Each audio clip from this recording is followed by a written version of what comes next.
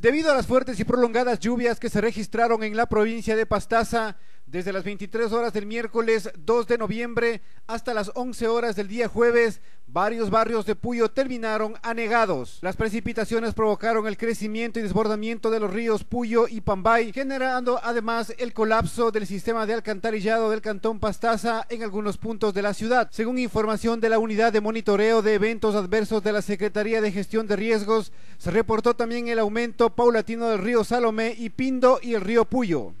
Según el informe preliminar de gestión de riesgos, el agua ingresó hasta las viviendas de los barrios Amazonas, México, Plaza Aray, Obrero, El Chofer y La Isla. Incluso este último fue necesario con intervención del Cuerpo de Bomberos de Puyo, Policía Nacional, evacuar a las familias.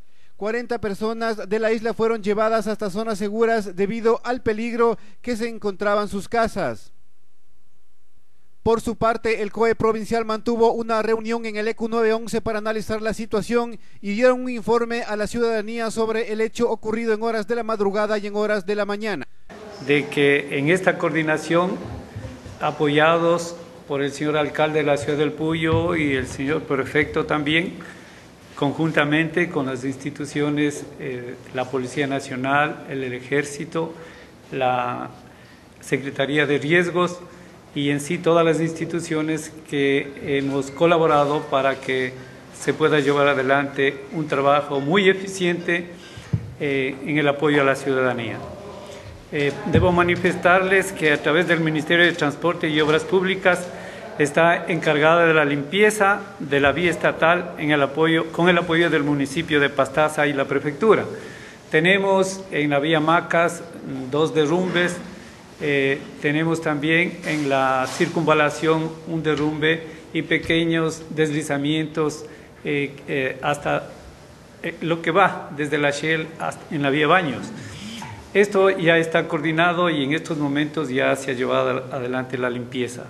Tenemos también la participación del MIES y Secretaría de Riesgos en la coordinación de los albergues para trasladar a las personas evacuadas de las viviendas inundadas principalmente en el sector La Isla y Salomé. Eh, tenemos la Brigada de Selva y el Cuerpo de Bomberos y la Policía Nacional apoyarán en el transporte para llevar a, los, a la gente a los albergues, así como los botes para sacarlos de, las inundaciones. En el sector de Salomé han trabajado ya con botes para evacuar a la gente. ¿no?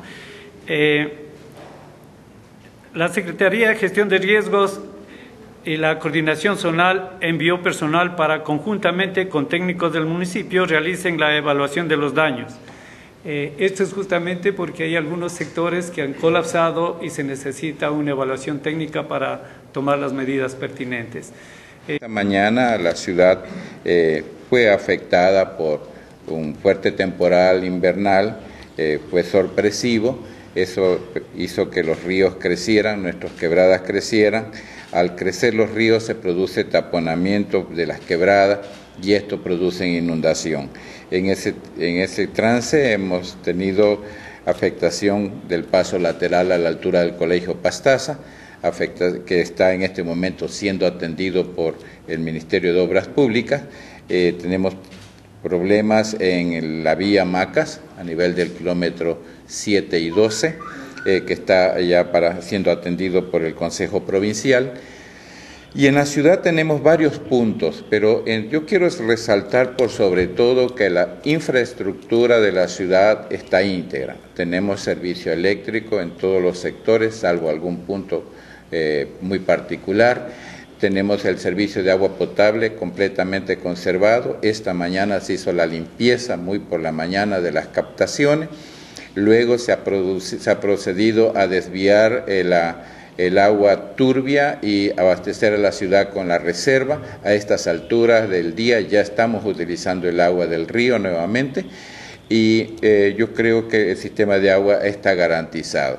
Eh, los problemas puntuales los hemos tenido, deslizamientos de tierra a nivel del mirador del río Puyo, Hemos tenido también problemas de avenida de agua sobre el barrio obrero, que ya en este momento está seco, nos queda la limpieza de, la, de las calzadas.